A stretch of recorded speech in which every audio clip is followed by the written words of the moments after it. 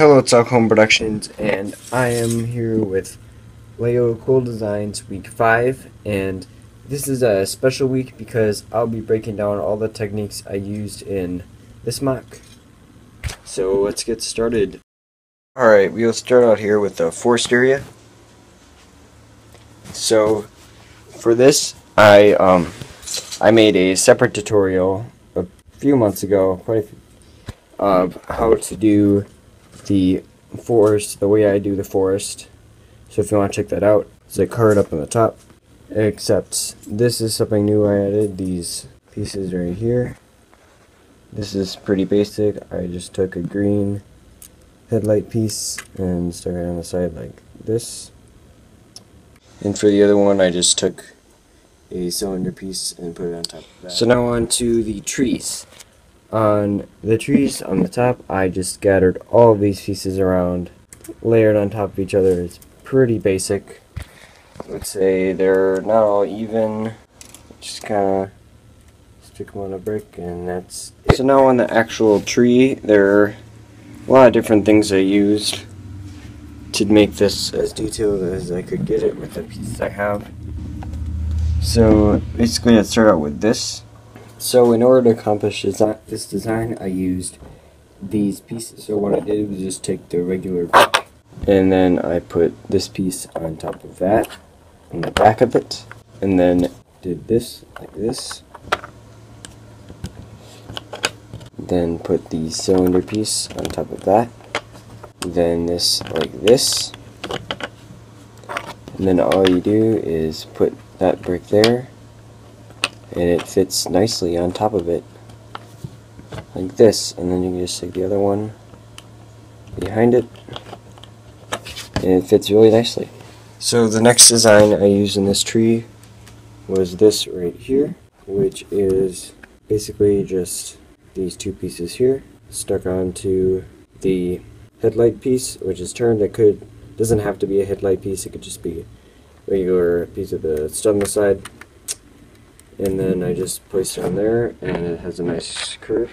And the next few things I did on the tree is just some more um, studs on the side or more use of the headlight piece which I had a few of. And up here there all it is is just these pieces upside down stuck on some plates. And then there's just some SNOT around the tree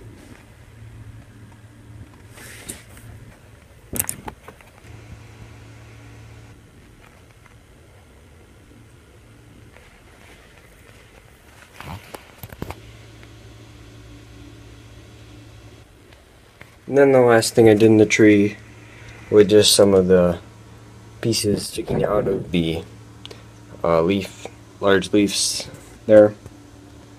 And that is about it for that. Now in this next tree, I used a lot of the same techniques. Um, on the bottom, a lot of SNOT, bit, and uh, upside down slopes. There's one more thing I'd like to show for this tree I did not use on the other tree there. Alright, so we have ran into a little bit of dilemma here. So as I was turning the MOC, I didn't realize how close it was to the table. And it kind of fell off. So I'm actually going to use this to my advantage though. This is, this right here is what I was going to show how to do. So all I did here was built a little staircase type thing. Put it on the side uh, like this. And then I took this piece right here and it just kind of went in nicely like that.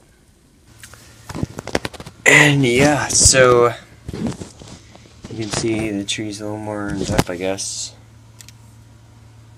A little bit destroyed.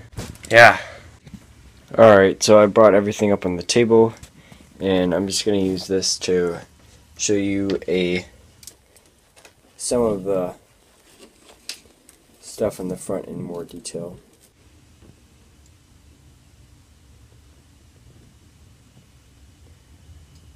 And yeah, there's that rock work. I'll go over more detail when I get to this all fixed up again. Ah, yeah. Alright, so as you can see I got it all fixed up. And now we will move on to all the rock. Alright, so down here I used a lot of different techniques. A lot of them with just setting bricks on the side. Alright, so right here I just took this wedge piece and st stuck it onto these two bricks.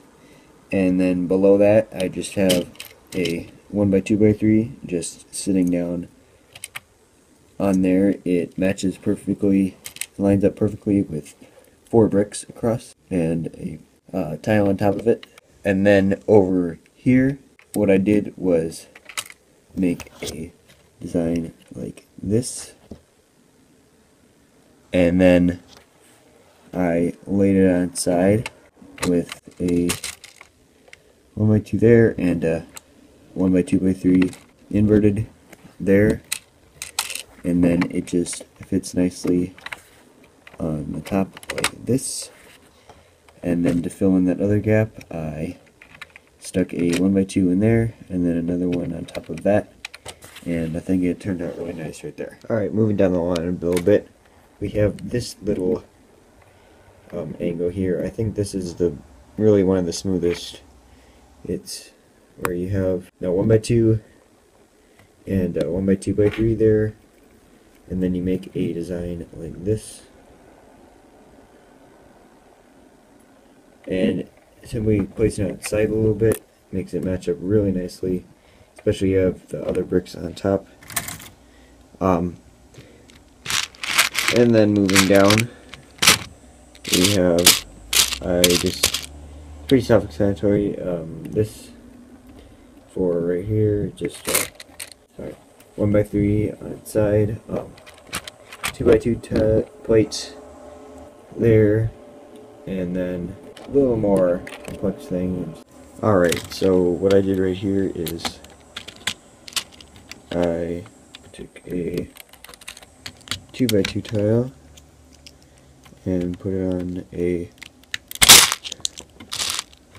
basically this right here and then I stuck it down in the back. And angled it as much as I could. And then took a two by three and or one by three and uh, one by two. Right there. And then moving down a little bit more I have this uh, kind of long part on its side here. This right here is just that stuck together as close as it can and there's three layers here they're all just kind of stacked on top of each other and yeah. Alright, so this next part, it's another design where you um, take some 1 by 2 by 3s together, just different bricks, and then you place it on its side. And it looks, fits really nicely right here. Um, just look right here on how I did it there. And then just kind of put it on top. And now moving down a little bit more, I have another one of those. Uh, like this. And then you see it's straight here and uh, 1 by 2 by 3 there. And it fits really nicely on its side like that. And there is also a there is also two slopes right there. And then it just fits nicely like that. Alright, now for the final bits of the mountain. See in this area I use dark tan because and that mixes really nicely also with the brown path. Um, yeah, and then I used another wedge down here, same as I did in the beginning of the... So this is a design I use a lot in my rock work. So basically what you do, uh, you just take the turnkeys, don't know what it's called, and then you stick a 1x4 slope on one part, and then a 1x3 on the other, and then it just turn it down, and it fits nicely with the 1 by 2 slope there. And then next to that I used a 1 by 3 here. And then that is it for that side. And then coming over the other side here, um, I'll go back to the bridge. Later I just have a 1 by 3 slope right there on the bottom part. And yeah, now onto the other side of the mountain.